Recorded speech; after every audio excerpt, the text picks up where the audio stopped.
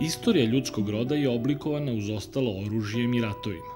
Države i narodi su nastajali i nestajali u ratovima. Ratom su sticana ili gubljena bogatstva i širene teritorije. Vlast se najčešće osvajala ili gubila uz pomoć vojski. Imperatori su uvek bili i komandanti vojske. Često su međutim i vojni komandanti postojali imperatori.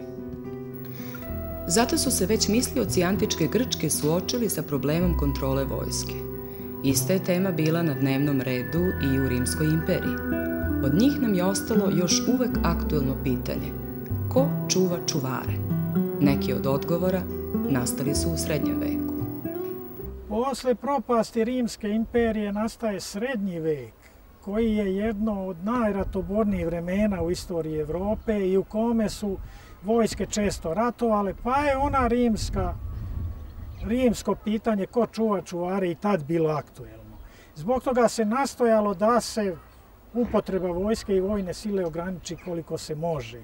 Ovdje ću pomenuti samo dva akta zakonska usvojena u srednjem veku koja se bave nekim vojnim pitanjima.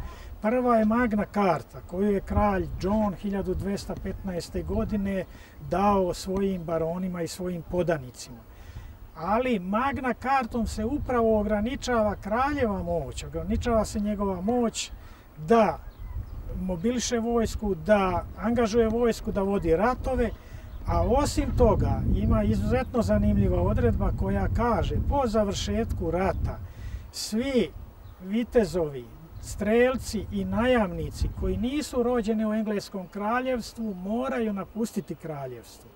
Znači, time se ograničava mogućnost kralja da strane najamnike koristi u unutrašnjim sporovima i sukobima.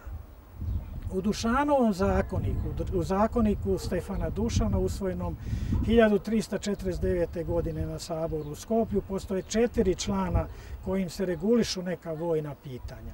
Za nas je zanimljiv član 81 koji kaže vojska koja ide po zemlji carevoj, ako padne u jedno selo, druga koja za njom ide da ne padne u isto selo. Znači, car brine o svojim podanicima da ne postanu e, žrtve na neki način onih koji raspolažu vojnom silom. Drugi član zakonika glasi ko na vojsci, odnosno ko u ratu sruši crkvu, da se kazni smrću.